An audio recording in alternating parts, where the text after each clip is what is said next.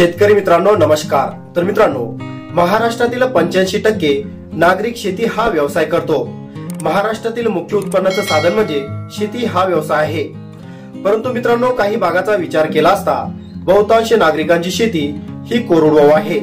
कोरडवाहू शेती असल्यामुळं शेतकऱ्यांना चांगलं उत्पन्न घेता येत नाही.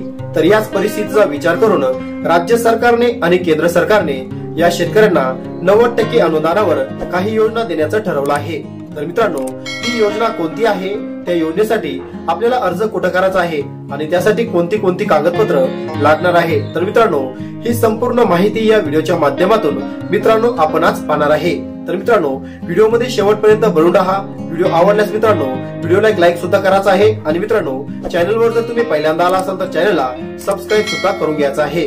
कारण मित्रांनो अशा शेती संदर्भातील जे नवनवीन योजना आहे त्यांचं नोटिफिकेशन सर्वात आधी तुमच्यापर्यंत पोहोचत राहण्यासाठी.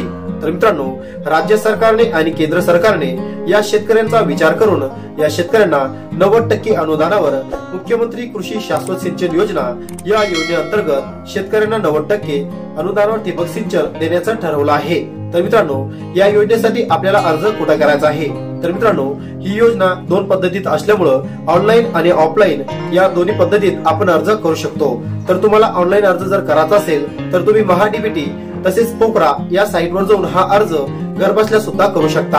आणि मित्रांनो हा अर्ज जर ऑफलाईन करायचा म्हणल्यास शेतकऱ्यांना काही कागदपत्रांची पूर्तता सुद्धा करावी लागणार आहे. तर सर्वप्रथम म्हणजे शेतकरी हा महाराष्ट्रातील रहिवाशी असणं गरजेचं आहे. त्यानंतर शेतकऱ्यांकडे रहिवाशी दाखला असणं गरजेचं आहे.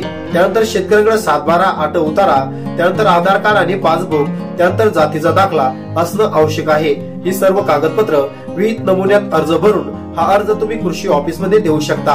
त्यानंतर एक ते दोन महिन्यानंतर तुम्हाला त्या ठिकाणी पूर्वसंमती मिळून जाईल. अशा प्रकारे मुख्यमंत्री कृषी शाश्वत सिंचन योजना या अंतर्गत शेतकऱ्यांना नव्वद टक्के अनुदानावर पुरवण्यासाठी आता राज्य सरकारने पंचवीस टक्के आणि केंद्र सरकारने पंचावन्न टक्के असं नव्वद टक्के अनुदानावर शेतकऱ्यांना अनुदान देण्याचं ठरवलं आहे.